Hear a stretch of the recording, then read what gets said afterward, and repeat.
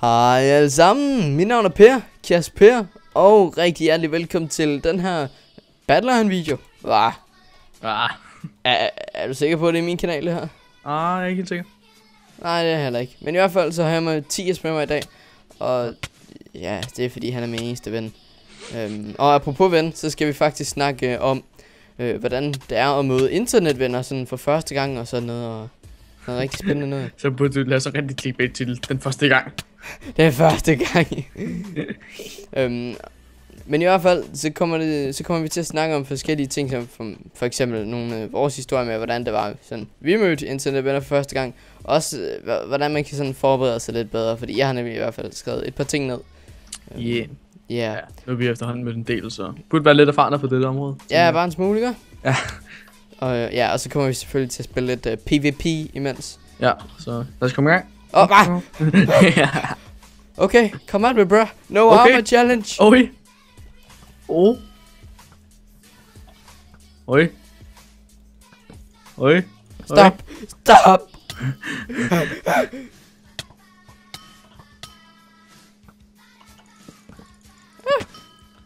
Ah, Nej.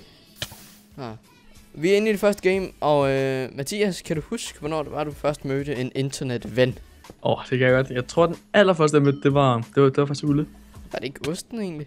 Nej, Mødte Ulle først? Ja. Hmm, interessant. er det det? Øh, og det var tilbage i sidste år i sommerferien, tror jeg, det var. Ja. Ja. det, Var, var det egentlig ikke for Cassiopeia Lane, eller hvad? øh, jo, det var før. Jo, det var for... Fordi første gang, jeg mødte internetvenner, det var sådan set ved Cassiopeia Lane. Nej, eller var det? Nej, jeg ved ikke rigtig, om jeg vil tælle Spirit med, fordi han var sådan set med til min blå mandag. Det var det. Uh, Jeg var huske, du har sagt. ja, men altså sådan... Ellers så er det Cassiopeia Lane. Og, og nu bliver jeg lidt flækket, det gør jeg også. Um, hvad hedder det? Det var sådan... Jeg skulle hente breven ved togstationen, og det, nu kommer en af forberedelsestingene. Ligesom uh, da vi skulle møde James for første gang. Han spurgte lidt, skal vi kramme, eller hvad skal vi? Ellers skal vi give hånd. Ja, det, det er faktisk en virkelig handy ting at vide, fordi da jeg stod der ved stationen, så vidste jeg ikke, hvad det var, jeg skulle gøre. Uh, så jeg øh, skyndte mig bare at åbne mine arme og var klar til at kramme, så han ligesom kunne se, okay, ha- han skal kramme. Okay. um, så det er altså, hvis du er, du skal møde en af dine internetvenner, jeg tror med, med, at der er et par stykker af jer derude, som, øh, som har internetvenner og så videre.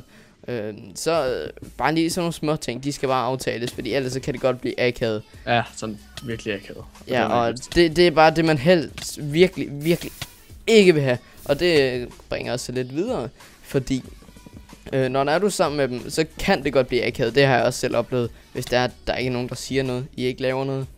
Mm. Sidder begge to på mobilen eller sådan det, Sådan skal det bare ikke være. Øhm, og det som vi så nogle gange, eller det er i hvert fald noget vi har erfaret og sådan noget, det er, man skal bare hele tiden lave noget. For eksempel med AP Føler. Ja, øhm, da vi lavede den, der var vi sammen, vi gør det vel fire dage, fire-fem dage. Ja. Og øhm, altså, alle dagene, det gik jo med at lave det. Og jeg siger til jer, at I skal gå ud og lave en, musik, en musikvideo.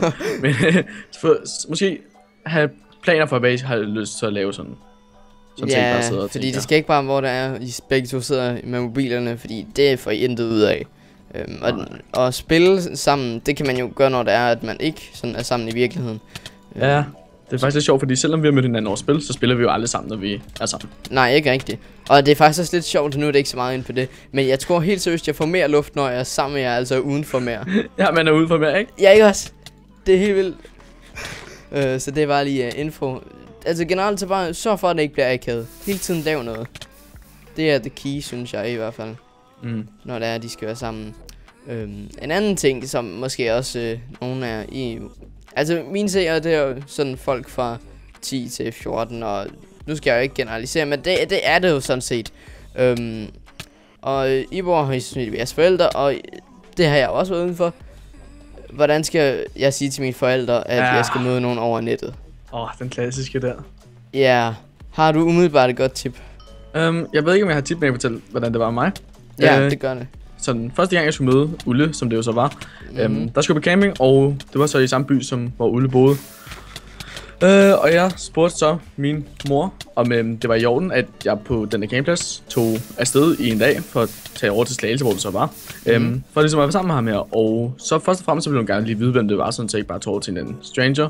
Ja. øh, som jeg aldrig ke- havde mødt sådan. Mhm. Øh, så hun skulle lige sådan se nogle billeder af, ham, øh, billeder af ham, og øh, jeg tror faktisk også, de aftalte noget med hans forældre eller noget i den stil, jeg er ikke sikker. Men øhm, det var sådan... Hvordan siger man det? Øh, jeg ved det ikke, hvordan man siger det, men...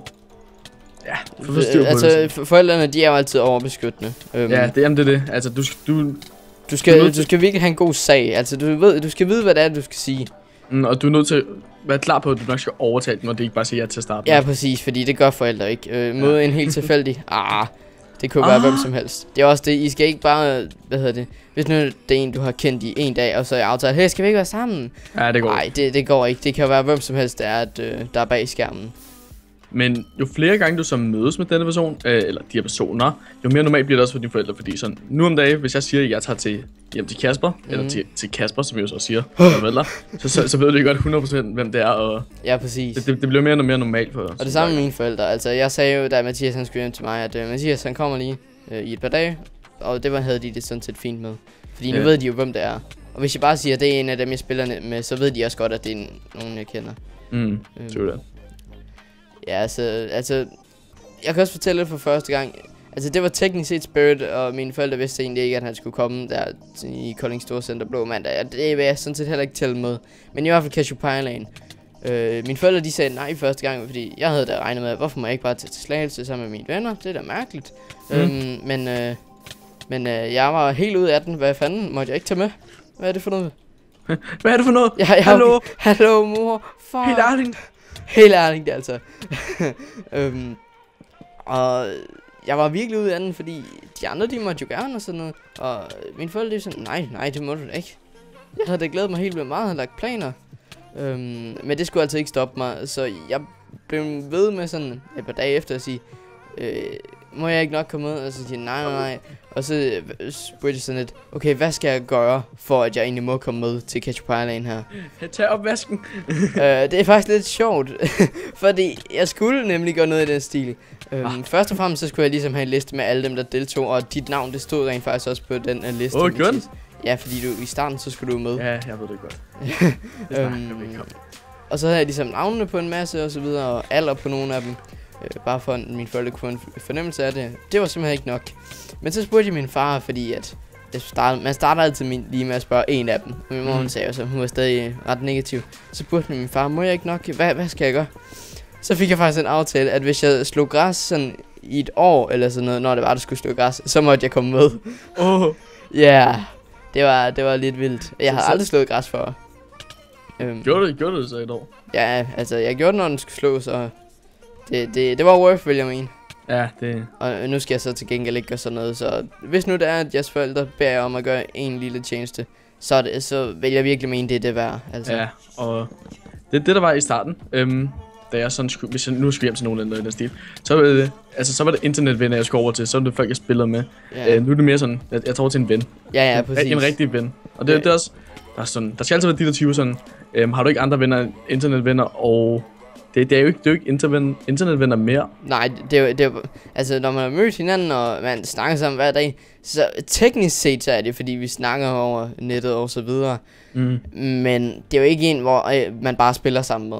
Nej, det er Det er det. en, hvor man snakker om alt med og sådan noget. Det, Ja. Altså, nu, hvor mange gange vi været sammen? To, tre, fire gange? Uh, hvor hvor mange gange? Jeg tror, vi er oppe på de uh, ja, 4-5 stykker, tror jeg. Ja, måske. Ja, øhm, og det begynder bare at blive mere og mere normalt. Mm, true that. Uh, så uh, ja, ja, det... Forklar dine forældre. Uh, vi kan lige opsummere lidt. Forklar dine forældre, hvem det er, du skal til. Gør alt, hvad du, uh, hvad du kan for at komme med. Um, men hvis det... Og der skal, der skal være billede til, skal jeg lige hilse at sige. Ja, fordi, det, du, du er næsten nødt til at skaffe et billede af ham, der skal være sammen med. Ja, det, det er ligesom lidt et must.